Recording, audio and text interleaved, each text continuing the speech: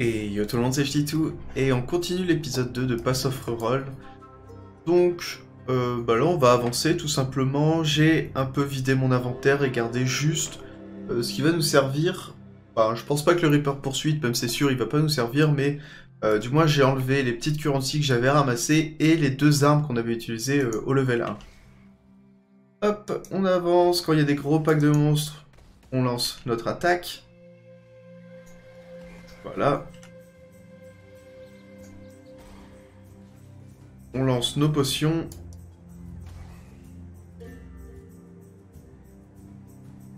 Maintenant, faut trouver la sortie qui n'a pas l'air d'être ici. Est-ce qu'elle est tout en bas? Je sais pas trop. Ici, je vais faire... euh, je vais cliquer sur euh, le fait de, euh, de taper à partir du moment où je clique et que ça n'aille pas jusque, jusque la cible pour taper. Hop. Donc non, c'était pas là-bas, c'était en haut. J'aurais dû y aller, à chaque fois je me trompe ici.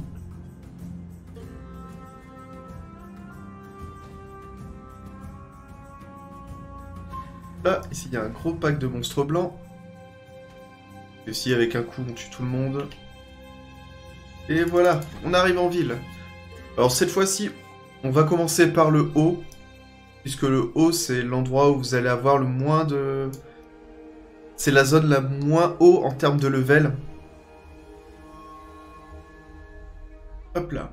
Ici, on va avancer, on va suivre la route. Normalement, ici, il y a une quête optionnelle qu'on peut récupérer, mais on n'en a vraiment pas besoin. Ça nous permet de récupérer des objets rares. Mais, euh, nous, les objets rares, on s'en fiche, en tout cas, euh, sur ce personnage-là. Ici, il y avait un boss, donc la zone était en haut, on le voit, mais on n'y va pas. On continue la route et on prend le crossroad. Ensuite, on va prendre le waypoint qu'il y a en plein milieu. Donc pareil, on suit la route toujours. On la voit euh, bah, sur l'écran, mais on la voit aussi sur la minimap pour la suivre. Hop là, le waypoint et ensuite on va vers le haut. Hop là, un bon pack de monstres bleus. Là, on prend le temps de les faire. Les monstres bleus, ça fait gagner beaucoup d'XP. Là, ça me permet de sauter. Des monstres bleus. Je vais même utiliser mon totem.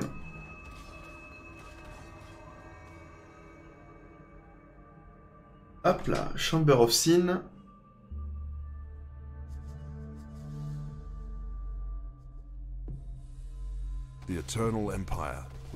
Là, si on tue pas le rare, c'est pas si grave que ça. C'est pas les rares qui nous donnent le plus d'XP. Euh, ça, je vais l'ignorer aussi. Là.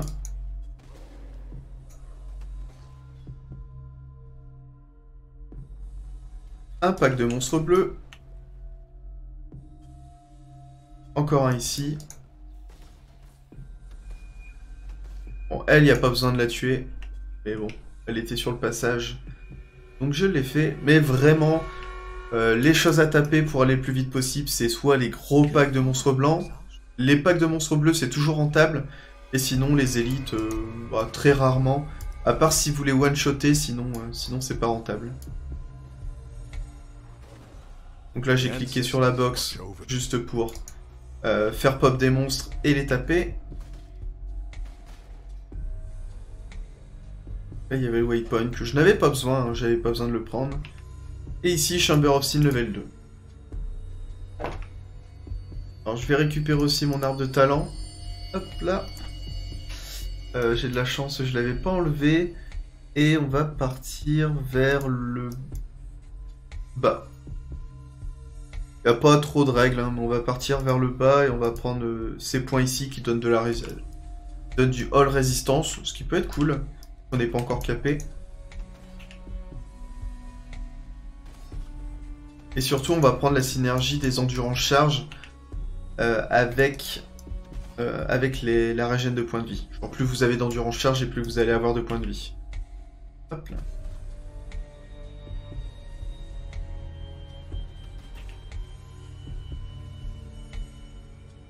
Donc généralement c'est vers le haut. Ici il y a un labyrinthe, mais il n'y a pas besoin de le faire le lab puisque vous l'avez déjà fait avec vos autres persos. En tout cas avec le premier. Et euh, un labyrinthe fait avec un perso est valide pour tous les persos de la ligue. Donc là, je mets le totem et on le tape en même temps. Potion de vie, potion de résistance élémentaire, et voilà. La déco reco. Et pas besoin de parler à Elena. Euh, déco reco. On va prendre Herald of Ash, même si on peut pas encore l'utiliser. Euh, les autres ne vont pas nous servir. Herald of Ash, c'est vraiment ce qui fait le plus, euh, toujours plus de dégâts. Ensuite, on retourne à Crossroad. Euh, si tu veux bien. Enfin, j'attends le level 16, encore un level. On court et ensuite tout en haut pour aller tuer le bandit. Alors pour les bandits, c'est comme vous voulez, euh, suivant votre build. Si vous jouez un build critique, généralement c'est Alira. Si vous jouez un build avec de la régène de vie, Oak peut être bien. Et euh, sinon, ça sera tuer tout le monde. Euh, moi j'ai vraiment hésité pour mon build, je ne sais même pas encore si c'est si la meilleure solution. mais je vais aider le, dernier Oak qui va nous donner des dégâts physiques, euh, plus de régène de vie euh, et, une réduction des dégâts physiques subis. Ce qui est plutôt cool. voilà, 1% de régène de vie, c'est quand même pas forcément courant. Et assez difficile à récupérer dans l'ordre de talent. En tout cas, on est limité, donc je vais aller récupérer ça. Et euh, je pense que ça le fera. Si je mets mon totem avant de lui parler, hop, on le tue. On clique sur le tuer. Là, on prend l'amulette, on quitte et on revient. Et voilà, on a déjà fait la moitié de la zone. On avait déjà fait tout ce qui est en haut. Ici, c'est pas besoin. Ici, normalement, il y avait un labyrinthe. Et en plus, il y a des points de respécialisation. Euh, mais euh, ce n'est pas ça qui va nous permettre... Euh, bah, ça va pas nous donner des problèmes de puissance. Euh, pas de points de talent, pas de trucs indispensables, pas de points de panthéon, pas de... Enfin, rien d'indispensable en tout cas.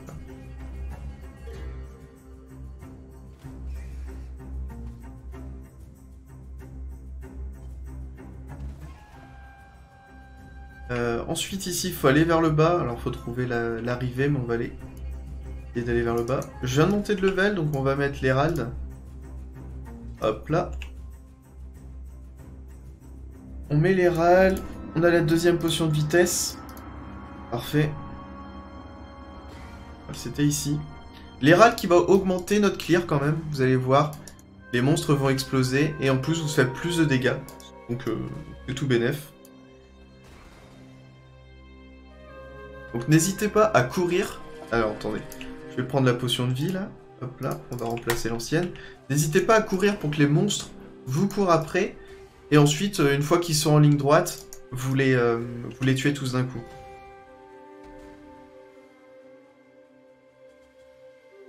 Hop. Et là, ce que je fais, c'est que je suis la route, tout simplement. Hop. Grâce au bon qu'on a pris à l'acte 1, on peut sauter tous, ces, tous ces petits barrages naturels. tous ces ponts qui sont cassés. Hop là. Donc ici, euh, deux choses à faire. Euh, si ce n'est plus. Non, il y a trois choses à faire. Donc on, continue tout droit, on continue sur le chemin pour aller prendre le, point de passage. Et ensuite on continue quand même parce qu'on va récupérer un point de talent supplémentaire en continuant tout droit. Là, Voilà, petit totem et on tape. C'est lui qu'il faut tuer. Voilà, on appuie ici sur le... Je sais plus comment ça s'appelle. Mais on clique dessus. Et ensuite, on regarde comment il fait le chemin. Alors pourquoi je peux pas euh, Ici, il y a des espèces de petits pointillés. C'est-à-dire que le chemin est cassé et en plus il y a une lampe torche. Pas une, une torche, c'est-à-dire qu'il faut aller vers le haut.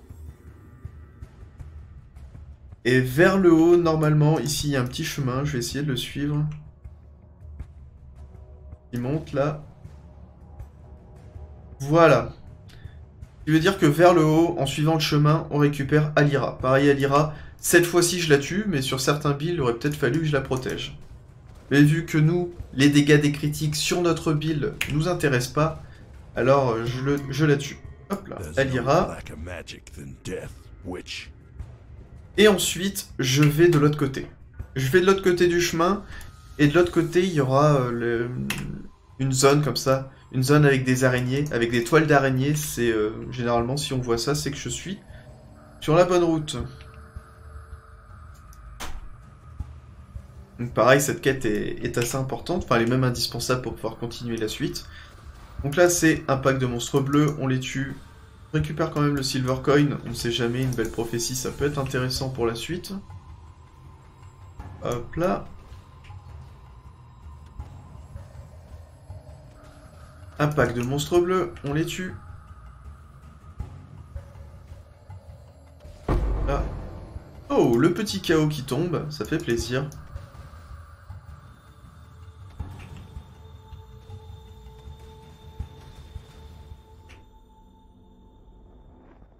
Voilà, on va à la suite. Et ensuite, il y a l'araignée.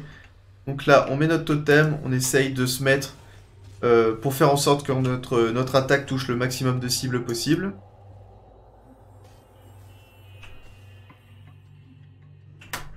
Vérifier que je pouvais toujours pas mettre d'objet. Non. On tape, on tape, voilà. On ramasse cet objet, on quitte. Et on revient. Et voilà, cette fois-ci, on va parler... Je crois qu'il faut parler à un PNJ. Journey. Alors ici, mêlée physical de mage, c'est super important, ça fait... C'est très fort pour nous. Hop là. Et normalement, il y a d'autres sorts qu'on va pouvoir prendre. Alors si je regarde bien... Au niveau du consacré de passe, Hello? je vais lui reparler, on va voir ce qu'il y a. Faster attack, non. Euh, Elemental damage with attack skill, oui. Physical to lightning, non. Iron grip, non. Endurance charge on melee stun, ça, je vais le prendre. Ça nous servira aussi plus tard. Healing strike, non. Bloodlust, damage on full life, non. Ok, donc on a 3 gemmes déjà, ce qui est plutôt cool. Euh, on va venir directement à l'acte 1. À l'acte 1, maintenant, il y a le, le petit Tarley qui va nous donner un point de talent supplémentaire. Grâce au bouquin. Et ensuite, on se TP à Riverway. Je clique sur mon bouquin, je mets mes points de talent. Ici, je vais aller là, hop. Et on va prendre ces points-là qui nous donnent du all résistance et du maximum résistance feu. Alors, je sais pas si je suis capé en feu. Euh, non. Mais en gros, ça ferait qu'au lieu d'être à 75 en limite, je suis à 76. Donc, euh, plus de résistance feu, ce qui est plutôt cool. Et puis, euh, puis voilà pour le moment. On avance. Et on a vu que dans les points de talent, j'ai rien pris qui augmente les dégâts de mes armes. Alors que je one-shot quasiment tout. Et ça, c'est la puissance des builds physiques. C'est euh, c'est la puissance et en même temps la faiblesse. Ce qui veut dire que les armes influent énormément sur vos dégâts. Ce qui veut dire qu'en leveling, vous pouvez euh, leveler n'importe quel build euh, en mettant que des points de talent défensifs, ou quels que soient vos points de talent, quel que soit vous partez sur des armes à deux mains, ou une main, ou n'importe quoi, ça va, ça va être fonctionnel. Bon, bien sûr, si vous partez sur un build avec des armes à deux mains, ce build sera encore plus fort. Donc ici j'ai trouvé le waypoint, mais j'ai pas trouvé le, le perso. Enfin, le- le bandit. Ah voilà, il est ici. Et ce bandit-là, bah pour nous, c'est 1% de régène de vie du global. C'est quand même plutôt pas mal. Euh, les deux choix sont possibles ici. Moi, je vais l'aider. Hop là. Donc, comme je vous ai dit, hein, euh, pour le choix des bandits, c'est si vous partez sur un build qui euh, se base sur de la régène de vie, OA qui est plutôt intéressant. Si vous partez sur un build qui est plutôt orienté euh, dégâts des critiques, ce sera Alira. Et sinon, c'est tuer tous. Le, le dernier, crétin, est rarement, rarement utilisé ou rarement pris.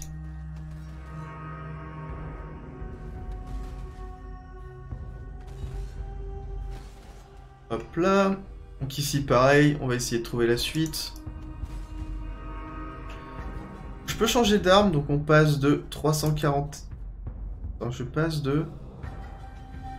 de 338 à 400, 413 de DPS, qui est plutôt cool. Et en plus, je peux mettre mes nouvelles, euh, mes nouvelles gemmes, qui fait que je suis à 5 600 de DPS. Là.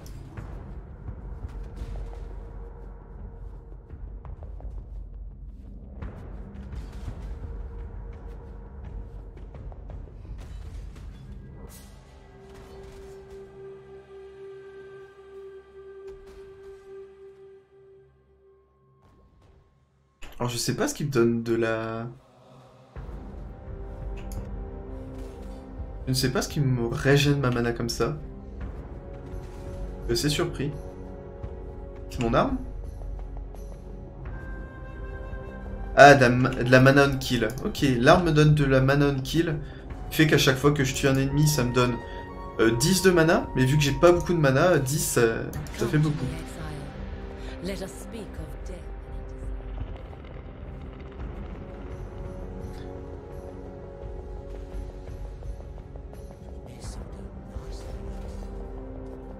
Euh, ouais, j'arrive pas à trouver la, zone. Elle est quelque part. hein. Je cherche encore un petit peu. Vrai que je, je crois que je n'ai pas pris Faster Attack, alors que Faster Attack est vraiment très bien allié avec notre sort de déplacement. Donc on ira peut-être le prendre après. Euh, Blood Rage, je sais pas si je vais le prendre.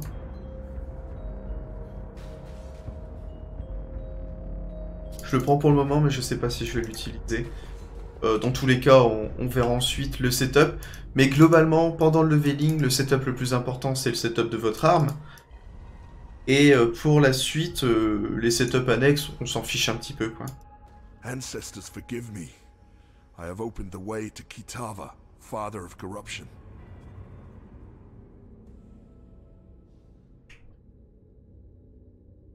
J'aurais peut-être pu utiliser la nouvelle Purity. Euh, je vais regarder.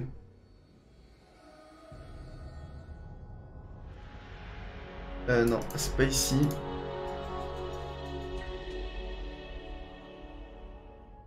Stay true to you. Euh... Purity... Herald of Purity. Je vais essayer de la prendre. Hop là. Par contre, le problème, c'est que je vais avoir encore moins de mana. Et ce que je vais faire aussi, c'est qu'à Yena, je vais lui acheter une potion de vie. Voilà, ici. N'hésitez pas à, mettre à jour vos potions de vie et potions de mana euh, lorsque vous pouvez. C'est assez important. Ça vous permet d'être plus tanky et, euh, de pouvoir y aller beaucoup plus, euh, de manière beaucoup plus bourrin. Hop là. Donc l'Herald of Purity, en plus de faire des invocations lorsque vous tapez, ça vous donne en plus des bonus de dégâts. Si je l'enlève, je suis à 679 et je passe à 717. 713, donc ce qui est quand même plutôt cool.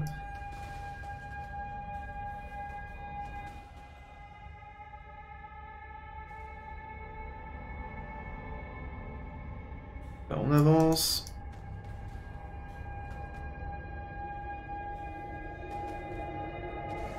Là.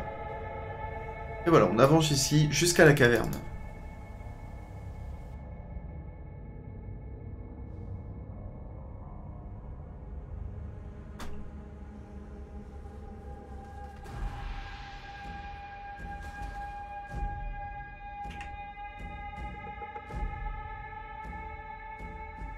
Donc si vous voyez que je cours très très vite et que vous vous courez pas aussi vite, euh, c'est parce que j'ai euh, ici une Quicksilver of Adrenaline. Euh, j'ai même une Alchemist Quicksilver of Adrenaline, donc ça c'est les modes. La Quicksilver normalement vous augmente de 40% votre vitesse de déplacement. Une Alchimiste réduit le temps de la potion, mais augmente son effet de 25%. Euh, ce qui veut dire qu'au lieu de courir à 40%, vous courez à 50%. Et le off adrénaline augmente encore plus la vitesse. Donc juste avec cette potion là, j'ai un gain de 80% de vitesse de déplacement euh, supplémentaire. Ce qui fait qu'un build qui, euh, qui est de base lent euh, peut devenir très rapide. Alors un build très rapide euh, devient, euh, devient tout simplement une fusée. Hop là. Mais là, actuellement, on a besoin de, des deux potions. Euh, plus tard, on n'en aura pas besoin, mais là, actuellement, il y a des phases où il n'y a pas beaucoup de monstres. Ce qui fait que euh, on a besoin de courir. Elles reviennent pas si souvent que ça.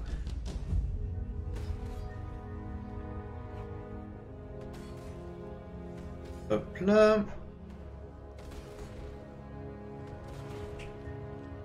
En gros, sitôt qu'il y en a une qui s'en va et que j'ai besoin de courir, eh ben je lance l'autre. Il y a l'air d'avoir une zone plutôt vers le haut là-bas. Ouais. Mon lip slam est vraiment très lent. Après, je m'en sers uniquement euh, pour sauter au-dessus de, de murs. Sinon, je préfère utiliser mes potions de vitesse. Surtout que j'ai le, j'ai les bots qui augmentent énormément ma vitesse en plus. Hop là. Alors, ce n'était pas là-bas. Est-ce que je tente en bas ou est-ce que je tente sur la droite? Ah, c'était là-bas. Parfait. Là, faut juste monter les escaliers aussitôt qu'il y en a. Euh...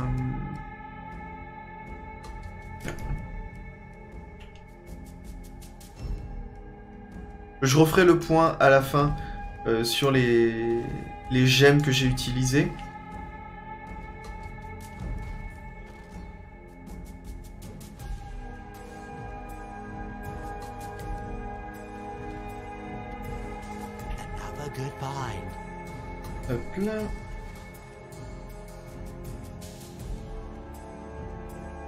On monte. On monte toujours. Donc il y a un gros pack, on le tue. Mais sinon, on passe. Là, il y a des monstres bleus, on se les fait. Bon, je risque d'avoir des problèmes de mana sur le boss. Euh, comme vous avez vu, mon arme me donne de la mana on kill. Mais, le problème, c'est que sur le boss, je vais pas, je vais pas, je vais pas tuer de monstre. Ce qui fait que j'espère que ma potion va suffire, sinon bah, ça fera des auto-attaques. Tant pis.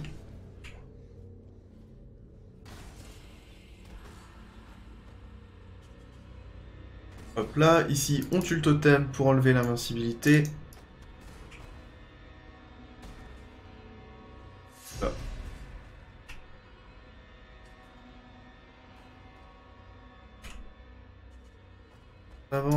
C'est vers le bas. Et voilà, si vous avez fait toutes les quêtes que je vous ai fait voir, euh, normalement vous avez tout pour cliquer sur l'altar et qu'il s'ouvre. je vais prendre ces points-là, qui va augmenter mon nombre d'endurance charge et qui va me donner de la régène de vie par endurance charge. Pour l'instant, euh, les endurance charge ne sont pas forcément excellentes pour nous, euh, mais déjà après le premier labyrinthe, ça sera pas trop mal et les labyrinthes suivants, ça sera encore mieux. Euh, je mets mon totem, euh, je lance ma potion de mana. Plus tard, j'aurai plus ce problème de mana grâce à mon anneau, le TF Torment. Vous verrez ça. Hop là.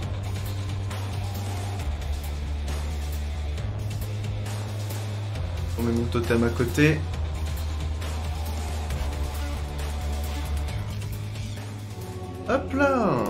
Et c'est fini C'est fini pour l'acte 2. Euh, donc, Belt of the Dissaver qui va augmenter vraiment euh, mes dégâts ainsi que mes résistances élémentaires. Le Carnage Art qui est une meilleure synergie avec euh, mon perso. Je suis level 20. Euh, la zone est level 23. Ce qui veut dire qu'il faudra pas que j'hésite à tuer des monstres dans la zone suivante. Puisque je suis un petit peu en retard sur mon level. Un petit peu, hein, mais normalement ça va remonter assez bien. Euh, du coup voilà, je rappelle ce que j'ai fait. J'ai passé cette zone-là, qui était euh, The Den, qui est une zone qui va nous donner un objet rare, je crois que c'est une ceinture. J'ai passé cette zone-là, tout à droite, euh, qui est un point de respécialisation, et aussi le labyrinthe, mais vu qu'on l'a déjà validé, on n'en a pas besoin. Et cette zone-ci ne sert à rien du tout. Donc voilà. Euh, au niveau de mes équipements, euh, j'ai équipé The Windows Swing au level 18, qui a augmenté euh, à la fois mes dégâts, mais en plus m'a donné du mana on kill, qui est pourtant pour le moment très utile. Et ensuite, le Carnage Art qui va augmenter mes dégâts, mes résistances élémentaires, qui va me donner un peu de Glitch Life, ce qui est plutôt cool.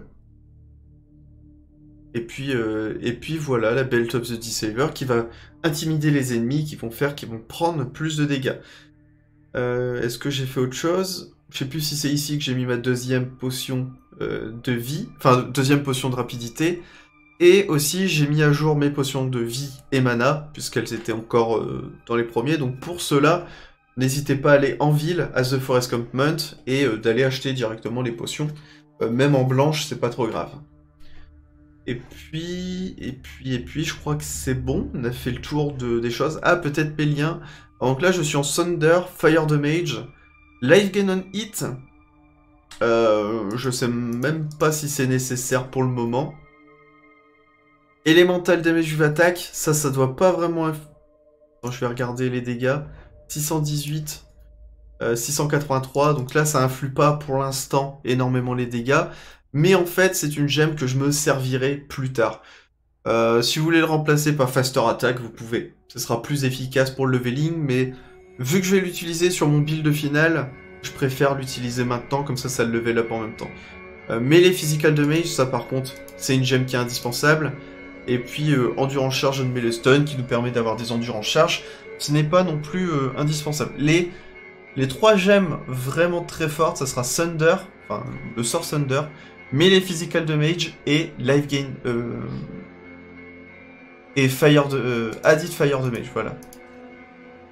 Je répète, Thunder, Melee Physical Damage, Added Fire, c'est les plus gros multiplicateurs de dégâts. Le reste, c'est optionnel, prenez ce que vous voulez. Faster Attack peut être très bien, à remplacer ensuite Faster Attack par... euh, Comment ça s'appelle euh, Multistrike, mais le Multistrike sera beaucoup plus loin. Alors je vais retourner vite fait au level... à la ville de l'acte 2 pendant que j'y pense. On va aller voir Yena acheter et on va lui acheter Faster Attack. Et si on peut lier euh, c'est où? Lip Slam avec Faster Attack ça peut être cool. Alors on va essayer de faire autre chose. Ça. Lip Slam. Mon Faster Attack il est où?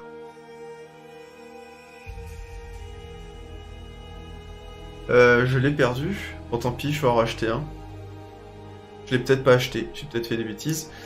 Hop là, donc là j'ai mis ça. Et ensuite, ce qui peut être intéressant aussi, euh, si vous le souhaitez, euh, c'est votre totem. Alors il est où? Ancestral Protector.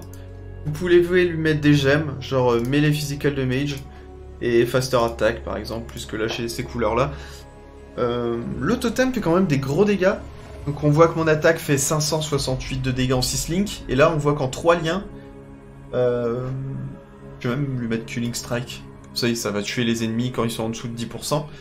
Euh, L'Ancestral Protector fait 388 de DPS, ce qui est euh, vraiment pas négligeable, et ça va être très fort contre les boss. Du coup voilà les gens pour l'acte 2, et bah on se retrouve pour l'acte 3 tout simplement. Je vous dis à bientôt, salut tout le monde